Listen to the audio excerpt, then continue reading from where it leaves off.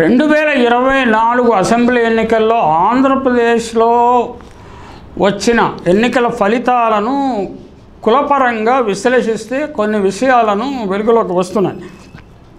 కమ్మ కాపు సామాజిక వర్గాలు రాష్ట్రంలో రెండు బలమైనవి. ఒకటి ఆర్థిక ఆర్థికంగా బలంగా ఉంటే రెండవది సంఖ్యాపరంగా బలంగా ఉంది. ఈ రెండు సామాజిక వర్గాలు గతంలో అంత సఖ్యత ఉండేది కాదు. కమ్మవారి మీద కాపులకు చాలా కోపం ఉండేది. ఎందుకో ఇందుకు చాలా కారణాలు చరిత్ర చెప్తుంది. వంగవీటి హత్య రాజకీయంగా అణగదొక్కడం ఆర్థికంగా ఎదగనీయకపోవటం వంటివి. కొన్ని కొన్ని గత పదేళ్ళ నుండి కాపులను దగ్గరకు చేర్చుకోవాలని చంద్రబాబు పవన్ కళ్యాణ్ ముందు పెట్టి సింగిల్ పాయింట్ ఎజెండాతో పని చేయించారు. ఇప్పటికైతే చంద్రబాబు పవన్ కళ్యాణ్ కాంబినేషన్ కోఆర్డినేషన్తో ఆయా సామాజిక వర్గ వర్గాలు టీడీపీ వైపు మళ్ళించడంలో ఘన విజయం సాధించినట్లుగా పోలింగ్ ఎన్నికల ఫలితాలను బట్టి మనం చెప్పవచ్చు. చంద్రబాబు ఇలాంటి ఇంజనీరింగ్ చేయటంలో చాలా సమర్థుడు. గతంలో ఎన్టీ రామారావు అధికారంలో ఉన్నప్పుడు బ్రాహ్మణ వర్గము ఉద్యోగులు ఎన్టీ రామారావుకి అతి చాలా అతిగా ద్వేషించేవారు. తమ ప్రాధాన్యతను తగ్గించడానికి ఆయన కృషి చేస్తున్నాడని ఆయన ద్వే ద్వేషి ద్వేషించడమే కాకుండా అవకాశం వచ్చినప్పుడల్లా ఆయన ఓడించటానికి ప్రయత్నం చేసేవారు. అయితే చంద్రబాబు రంగంలోకి దిగిన తర్వాత బ్రాహ్మణులను దువ్వారు. వారిని సన్నిహితం చేసుకున్నారు. బీజేపీ తోటి జత కలపడం వల్ల బ్రాహ్మణ సామాజిక వర్గం కూడా చంద్రబాబును తెలుగుదేశం పార్టీని శత్రువులుగా చూడటం మానేశారు. అలాగే ఉద్యోగ వర్గాలను కూడా ఒక దశలో ఆయన ఉద్యోగులను శత్రువులు అంటే ప్రజల్లో అసంతృప్తి బాగా పేరుకుపోయినప్పుడు సరిగ్గా ఉద్యోగులు సరిగ్గా పనిచేయటం లేదని కోపం వారి మీద మళ్ళించడానికి ప్రయత్నించాడు. తర్వాత వారిని దగ్గరకు తీసుకున్నాడు. ఈ ఎన్నికల్లో ఆ ఫలితాలు కూడా మనకి స్పష్టంగా కనిపిస్తున్నాయి. నిజానికి వంగవీటి మౌనరంగా ఇచ్చే తర్వాత కోస్తా జిల్లాలో దాదాపు నలభై మంది మరణించటము ఉభయ సామాజిక వర్గాలకు చెందినవారు ప్లస్ కోట్లాది రూపాయల ఆస్తి నష్టం జరిగిన తర్వాత ఇక ఎప్పుడు కమ్మ కాపు రెండు కులాల మధ్య ఏకీకరణ జరగదు సమైక్యత ఏర్పడదు స్నేహ సౌహార్దాలు ఏర్పడవు అని భావించారు. కానీ ఎన్నికల్లో ఓటింగ్ సరళిని చూస్తే చంద్రబాబు పవన్ కళ్యాణ్ కలిసి అసాధ్యాన్ని సుసాధ్యం చేశారని చెప్పవచ్చు.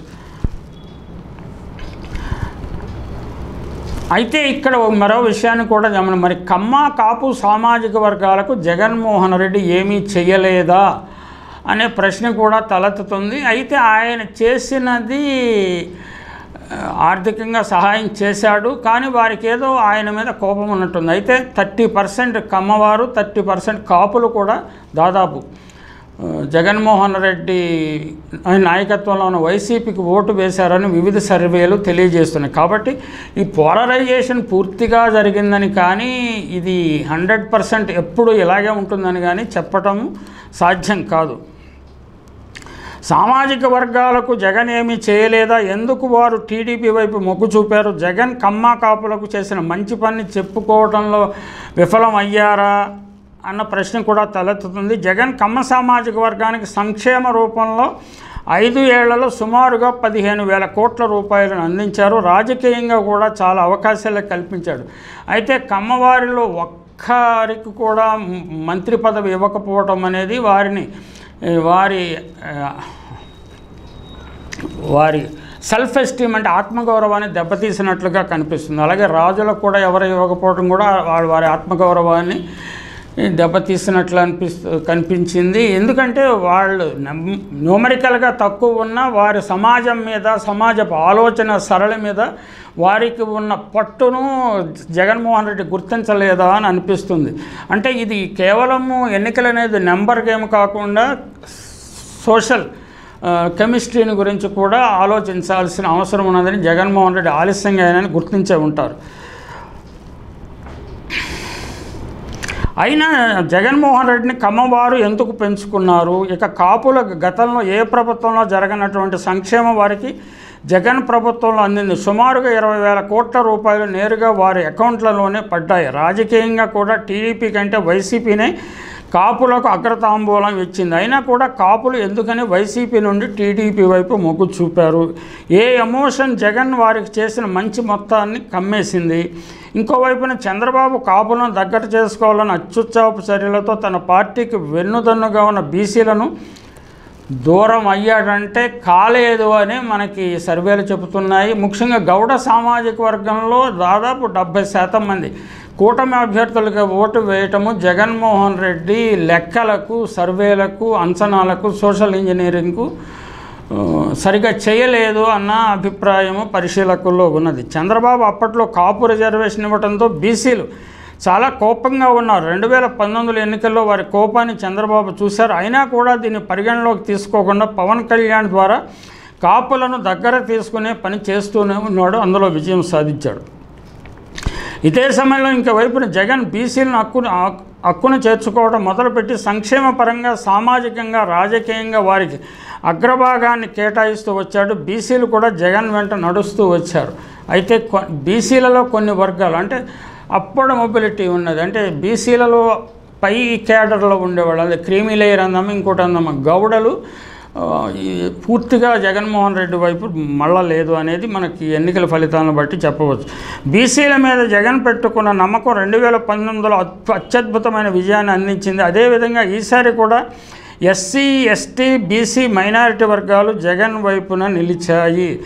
అనేది కూడా మన పోల్ సర్వేలు ప్రీ పోల్ ఎగ్జిట్ పోల్స్లో జరిగింది కానీ ఎన్నికల ఫలితాలు అది ఫలించలేదు కాబట్టి ఈవీఎంలలో ఏమైనా ట్యాంపరింగ్ జరిగిందా అన్న అనుమానాలు ప్రజలకు వస్తున్నాయి. రెండు వేల ఇరవై నాలుగు అసెంబ్లీ ఎన్నికలు మాత్రం పార్టీ పరంగా జరిగే కంటే కులాల పరంగా జరిగాయి అన్న అభిప్రాయాన్ని పరిశీలకులు వ్యక్తం చేస్తున్నారు. ఏదైనా ఇది ఎంత ఆరోగ్యకరమైన పరిణామం కాదు. అంటే యూపీలోను బీహార్లోను ఇలాగే జరుగుతున్నది. ఇప్పుడు ఆంధ్రప్రదేశ్లో కూడా దాదాపు ఇలాగే జరిగే అవకాశం ఉన్నది. అంటే సోషల్లీ ఇన్ఫ్లుయెన్షియల్ సెక్షన్స్ లేకపోతే థాట్ ప్రాసెస్ని కంట్రోల్ భావజాలాన్ని అదుపు చేసే వర్గాలను జగన్మోహన్ రెడ్డి అశ్రద్ధ చేసి కేవలము నెంబర్ గేమ్ చేయాలని చూశాడు. ఆ నెంబర్ గేమ్లో ఆయన విఫలమైన విఫలం కావటం అనేది ఎన్నికల్లో ఫలితాలను స్పష్టం చేస్తున్నాయి. అలాగే రెండు వేల పంతొమ్మిదిలో విజయం వైపు నడించి విజయం వైపు నడిపించిన ఎత్తుగడలే రెండు వేల ఇరవై నాలుగులో కూడా తను నడిపిస్తాయని ఆయన గట్టిగా విశ్వసించారు. అంటే ఆట ఆటకు వ్యూహాలు మార్చాల్సిన కెప్టెన్ మాదిరిగా ఆయన వ్యవహరించలేదు. అందువల్ల అలాగే ఆట అంతా మొత్తం తానే ఆడే కెప్టెన్ ఆడలేడు కదా ఆ విషయాన్ని ఆయన గమనించినట్లు లేదు. ఏదేమైనా అన్నీ అంటే ప్రతి వైఫల్యము విజయానికి ఒక మెట్టుగా భావిస్తారు. ఖచ్చితంగా జగన్మోహన్ రెడ్డి కింద పడినా మళ్ళీ పైకి లేస్తాడు. ఆయన ఆయనలో పోరాట పటమే ఉన్నది. కాబట్టి వైసీపీ కేటర్ అంత నిరుత్సాహపడాల్సిన అవసరం లేదు. నలభై శాతం ఓట్లు ఉన్నాయి. నలభై శాతం ఓట్లతోటే దాన్ని ఇప్పుడు చంద్రబాబు నాయుడు యాభై శాతం పైగా ఓట్లు సాధించగలిగాడు. వచ్చే ఎన్నికల్లో మళ్ళీ ఏం జరుగుతుంది? ఈ లోపుగా స్థానిక సంస్థల ఎన్నికల్లో ఏం జరుగుతుంది? ఇవన్నీ ఎలా జరుగుతాయో ఊహించుకునే చంద్రబాబు నాయుడు కూటమి నాయకులు వైసీపీ క్యాడర్ను ముఖ్యంగా భయభ్రాంతులకు గురిచేసి అది అధికార యంత్రాంగం సహాయంతో కేంద్ర ప్రభుత్వము నైతిక మద్దతుతో ప్రజలను పీడించే ఒక రాక్షస వినోదాన్ని రాక్షస క్రీడకు తెరతీశారు. ఇది చాలా భయంకరమైన ఫలితాలకు దారితీస్తుంది అలాగే రాజశేఖర రెడ్డి గారి విగ్రహాలను విధ్వంసం చేయటము ప్రభుత్వం ఎంతో ప్రతిష్టాత్మకంగా నిర్మించిన ఆర్బీకేలను గ్రామ సచివాలయాలలో ఉండే నామఫలకాలను తీసివేయటం యూనివర్సిటీల మీద దాడులు చేయటం ఇదంతా జరుగుతున్న గవర్నర్ వ్యవస్థ పోలీసు వ్యవస్థ ఎన్నికల సంఘం రాష్ట్రపతి వీళ్ళందరూ మౌనంగా ఉండటం దేనికి సంకేతం? జగన్మోహన్ రెడ్డి పార్టీ యొక్క పాపులారిటీ వారెవరికి నచ్చలేదని భావించాలా?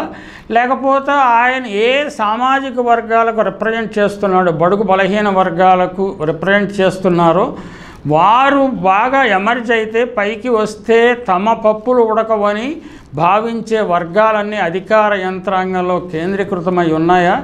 ఏది ఏమైనా ఇది చాలా సన్ సున్నితమైన సందర్భం.